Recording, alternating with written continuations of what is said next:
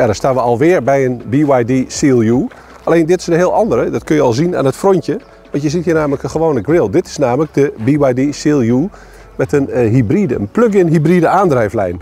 Want wat wil het geval? Ja, de vraag naar hybrides en plug-in hybrides is uh, niet ingezakt, maar juist een beetje gestegen. Dus ja, uh, als je dan toch al zo'n auto in huis had en het had BYD, dan kun je hem net zo goed naar de Europese markt brengen. En dat gaan ze nu doen en daar gaan wij nu mee rijden met deze auto. Nou, waarin onderscheidt hij zich dan van die gewone? Aan de buitenkant zijn maar een paar details. Hoor. Is natuurlijk die neus met die grill erin. Nou, een beetje dezelfde wielen. Wat ze heel goed doen, is dat ze die auto's gewoon op uh, Michelin Primacy E, de speciale banden voor elektrische voertuigen zetten. Standaard op deze auto, 19 inch. We zien hier natuurlijk, net als bij de elektrische versie, de laadklep. Maar aan de andere kant zit nog zo'n klepje. Dus daarin onderscheidt hij zich ook van de, de elektrische versie. Aan de andere kant kun je tanken, aan deze kant kun je laden. En kijken we aan de achterkant, dan zien we natuurlijk het plaatje achterop DMI. DM staat voor Dual Mode en I staat voor Intelligence, intelligentie. En als je onder de auto zou gaan liggen, dan zie je daar nog twee uitlaten. Nog even iets over de naam van deze auto. Hij heet Seal, maar hij heeft met de gewone Seal niks te maken. Behalve dan dat hij dezelfde koplamp heeft, dus hetzelfde gezicht. Maar het is een totaal andere auto verder.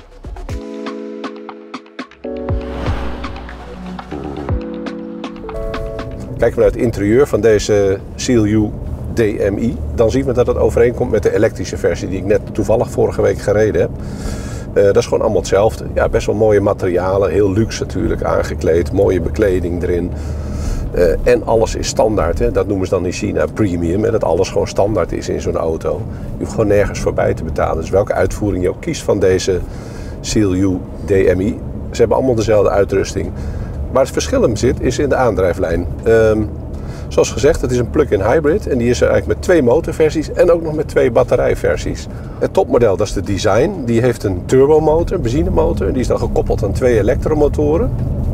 En uh, de elektromotor drijft eigenlijk altijd de, de, wielen aan. En de brandstofmotor die is dan, uh, werkt als een soort generator en uiteindelijk ook om wat extra vermogen te leveren.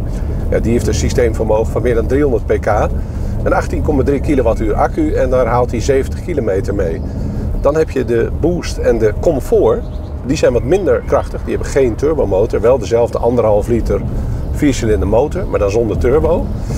Uh, en wat minder systeemvermogen, maar goed, nog steeds meer dan 200 pk, dus ruim voldoende. En binnen de 9 seconden naar 100, ook goed. De Boost, die heeft een 18,3 kilowattuur accu. Die komt dan 80 kilometer. Die design heeft trouwens twee motoren, vergat ik even te zeggen. Die heeft ook nog een motor op de achteras. Dus die is vierwiel aangedreven. De Boost en de Comfort hebben dat dus niet. Die zijn uh, voorwiel aangedreven. De een, die Boost, heeft een 18,3 kilowattuur accupakket voor 80 kilometer. En die Comfort, dat is een interessante uitvoering. Die heeft een 26,6 kilowattuur groot accupakket. Die komt 125 kilometer. Dat maakt natuurlijk een heel interessante auto. Dan kun je hier in je systeem instellen dat je bijvoorbeeld niet verder laat zakken dan 25% state of charge.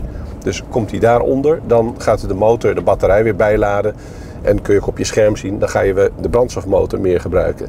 Nou, hoe werkt dat dan in de praktijk? Want deze auto is niet echt een transmissie, ook geen zes-traps automaat, ook geen planetair tandwielstelsel zoals de Prius dat heeft. Nee, deze heeft weer een eigen systeem, want ja, BYD zegt dit is gewoon een elektrische auto. Dus hij wordt elektrisch aangedreven. Die brandstofmotor die springt op een gegeven moment bij. We hebben het uitgeprobeerd, geef je dan vol gas, ook als de accu nog vol is, dan gaat die motor in één keer volledig in de toeren. Uh, zoals je dat eigenlijk bij een CVT hoort. Maar bij normaal rijgedrag, ook op de snelweg bij 130 km per uur, dan zie je dus dat de brandstofmotor aan het laden is, maar je rijdt eigenlijk een soort van elektrisch. Nou, dan moet je echt heel goed luisteren. Dan hoor je in de verte die motor een klein beetje, hoor je net een brommetje, verschilletje met die elektrische CLU. Maar veel hoor je eigenlijk niet. Hij blijft over de hele linie gewoon heel stil.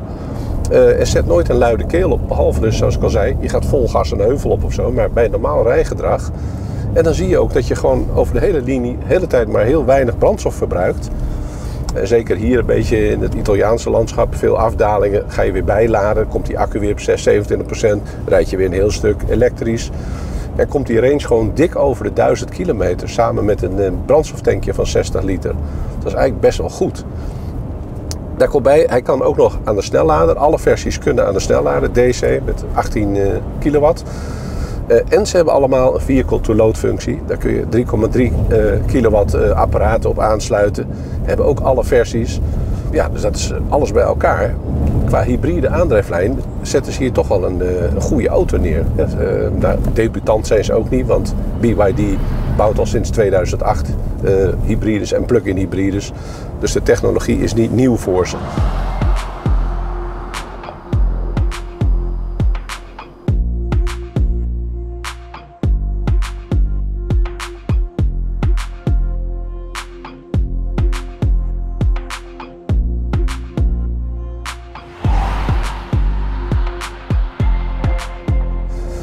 Uh, dat rijden, nou, dat hadden we bij die elektrisch ook wel gemerkt. Het is een ja, het lijkt een beetje wat sponsige auto. Hij is comfortabel geveerd, laten we het zo zeggen.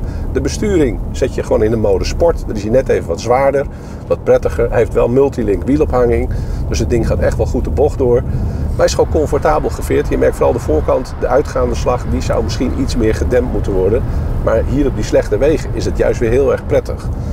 Dus ja, de nadruk ligt op comfort en op ook heel stil rijden. Dat doet deze auto gewoon heel goed. Hij is ook heel ruim. Hij zit qua grootte in de klasse van zeg maar een Skoda Enyaq. En qua concurrentiepositie, als we het daar eens even over gaan hebben. Uh, ja, plug-in hybrides, laat ik eens een auto noemen. De, uh, de Kia Sportage plug-in hybrid. Nou, die heeft uh, iets minder vermogen. En ja, prijs hebben we nog niet van deze auto. Maar goed, als je nagaat, de elektrische versie die is er vanaf 43. En gisteren zijn er wel wat Duitse prijzen genoemd. En het dan begint die boostuitvoering al uh, toch beneden de 40.000 euro. En dan is het opeens toch weer een interessante auto, ook voor de zakelijke rijden. Want ja, je bijtelling gaat natuurlijk over de, de nieuwprijs. En hoe lager die is, hoe minder bijtelling. En als je dan die versie hebt met 125 kilometer... En die design die zou dan rond de 45 kosten. Die is wel wat duurder, in Duitsland dan. Maar zou je die uh, comfortuitvoering met de grote accu nemen, die zou zo rond de 40, 41.